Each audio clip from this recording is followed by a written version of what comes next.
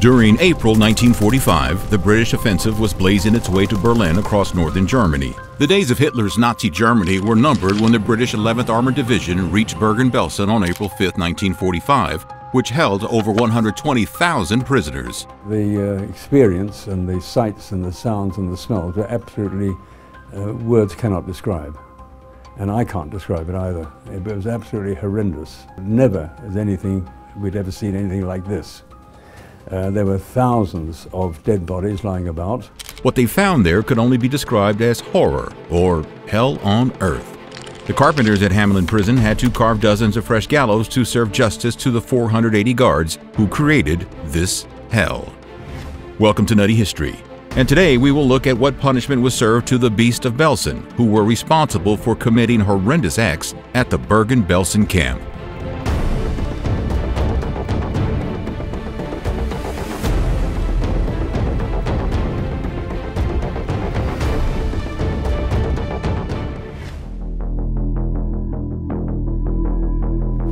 When the British liberated the prisoners of the Belsen concentration camp, most of them were suffering from typhus, dysentery, extreme malnutrition, and many other virulent diseases.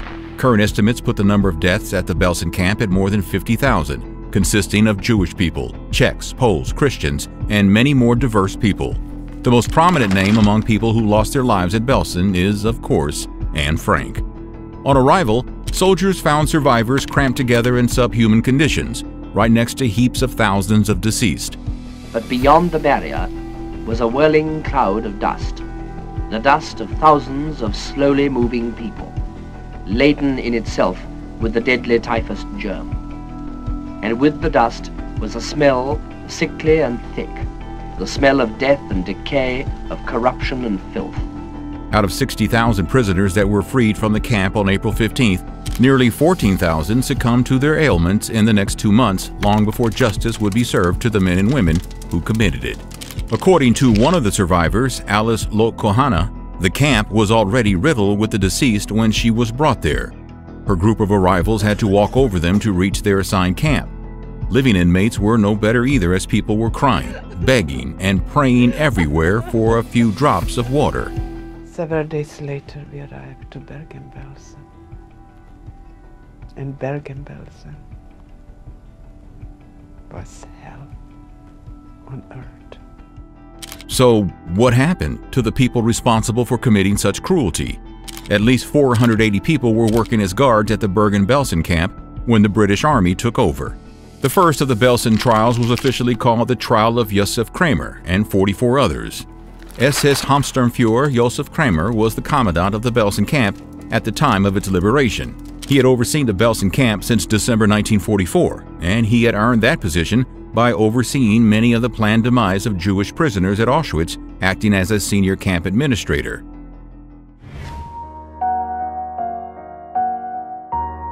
Kramer had gained infamy by conducting a project to create a Jewish skeleton collection for a university by ordering 80 deaths in chambers filled with gas.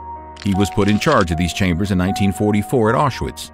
When the typhus outbreak in Belsen happened, the camp saw nearly 300 dead every single day. Of this total of 40,000, 4,250 are acutely ill or dying of virulent disease.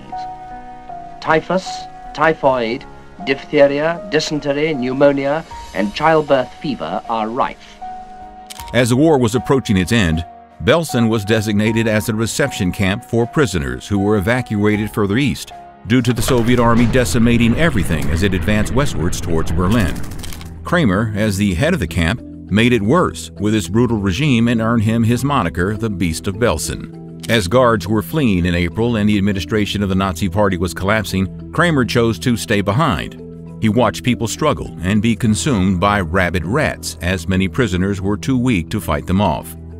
When the British arrived, Kramer took them on a tour of the camp, seeming unapologetic about the horrific scene. During the trial, Kramer either tried to blame his authorities for his crimes or took no responsibility at all and deflected. He admitted minor crimes like boxing the ears of a Russian captive and forcing sick prisoners to attend the morning call, but denied any major offenses or confessed to doing them only because he was ordered to do so. The trial lasted 54 days, from September to November 1945. After Anita Lasker testified that Kramer was responsible for the selections for the gas chamber at Auschwitz, his fate was sealed. And then started the Belsen life where things got worse and worse and the death marches starting, all the other camps that were, were um, not liberated but evacuated started arriving in Belsen. Belsen became an inferno. I mean, thousands and thousands of people came into Belsen. In state, you know, half-dead people dragged themselves in there on these death marches. The jury found him guilty of crimes against humanity and sentenced him to death by the rope, which took place on December 13, 1945, at Hamelin Jail, where he was imprisoned.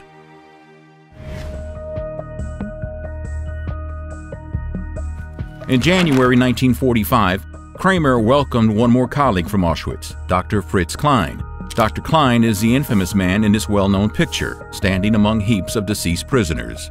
Originally born in modern Romania, Dr. Klein served in the Romanian Army from 1939 to 1943 as a paramedic on the Eastern Front. He was considered a Volksdeutscher, or ethnic German, so when Hitler demanded Romanian dictator Marshal Antonescu release all ethnic Germans in the Romanian army, he became a soldier in the Waffen-SS. He arrived at Auschwitz in December 1943 and was asked to make a selection for the sentencing of prisoners to the chambers. Ich heiße Dr. Fritz Klein, bin Arzt seit anderthalb Jahren im Konzentrationslagern, bin Deutscher aus Siebenbürgen, 58 Jahre alt und spreche heute am 24. April 1945. Ella Lingens-Reiner, an Austrian physician who ended up in Birkenau for her anti-fascist activism and harboring Jewish people in her home, asked Klein how he reconciles his actions with his ethical obligation as a physician. Klein replied with the following remark. Klein was well aware of how primitive hospitals and health services for the prisoners were when he arrived there, and yet did nothing to improve the deteriorating health of the prisoner. He made no efforts to put a stop to the outbreak even when diseases were claiming 2 to 300 lives per day. During the trial of Josef Kramer and 44 others, Klein asserted that he did everything in his power to provide food and medicine to the prisoners, but there was very little evidence of this when the British Army witnessed the opposite when they arrived there. On further interrogation, Klein admitted that when he arrived at Belsen, he was under the impression that this was an exchange camp for the sick, but soon he realized that Belsen was a death camp, a poor excuse of a hospice to let people die. Like Kramer, Anita Lasker's testimony sealed Klein's fate as well, and he was given the rope as well.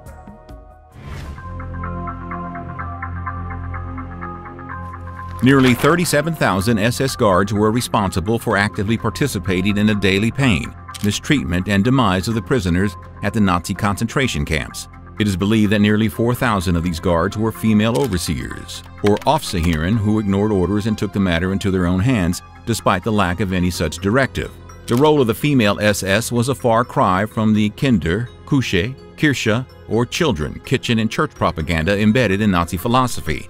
According to the charges brought against Irma Grese at the Belsen trial in 1945, or the beautiful beast of Belsen, she was responsible for pummeling female prisoners of the camp unconscious, sometimes fatally.